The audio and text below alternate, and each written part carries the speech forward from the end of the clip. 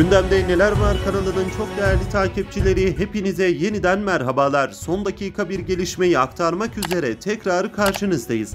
Kıymetli dostlar Zelenski'den gündeme bomba gibi oturacak bir açıklama geldi. Zor bir savaş olacak dedi.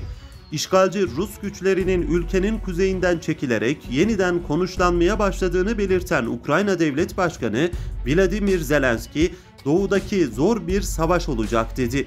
Değerli izleyenler, Ukrayna Devlet Başkanı, Rus ordusunun kuzeydeki bölgelerden çekilmesiyle ülkenin doğusunda başlayan askeri hareketliliği değerlendirdi.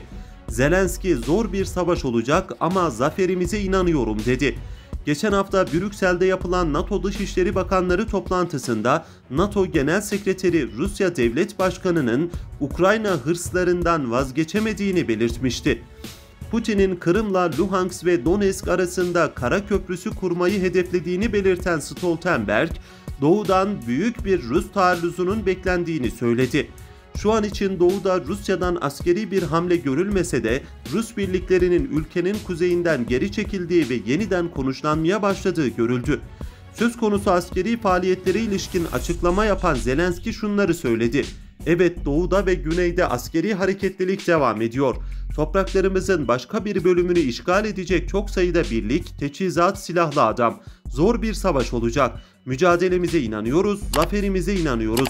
Bu yüzden savaşmaya hazırız ve aynı zamanda diplomaside bu savaşı durdurabilecek belirli yollar arıyoruz ifadelerini kullandı.